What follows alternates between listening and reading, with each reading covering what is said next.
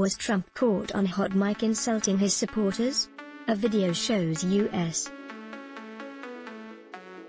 President Donald Trump calling his supporters animals who shoot Mountain Dew in their veins while watching Tiger King for the 45th time, among other insults. In July 2020, a video supposedly showing U.S.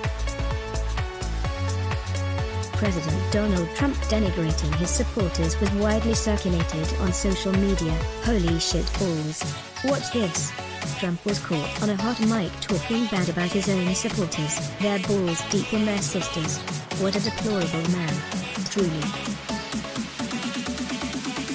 Hashtag nobody likes Trump pic.twitter.com slash m8qbbgsxt1, Rajiv Singh, at Rajiv C86412039, July 30th 2020 The visuals in this footage are genuine, but the audio has been manipulated. It should also be noted that it doesn't appear that Project Veritas, a right-wing activist group that has published several controversial and misleading undercover videos, had anything to do with this video.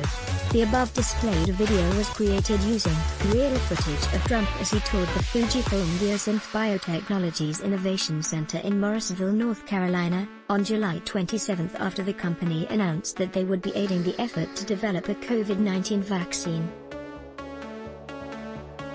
In the original video from CBS 17, it's difficult to make out exactly what is being said due to background noise. However, it's clear that during this portion of the tour, Trump was doing more listening than speaking. Here is the original video. The scene shown in the viral video begins around the 45 second mark. The genuine video shows Trump listening as others, presumably, talk about Fujifilm's work. The viral video featured doctored audio added to this footage to make it appear as if Trump was insulting his supporters.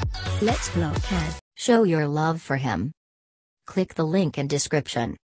Thanks for watching.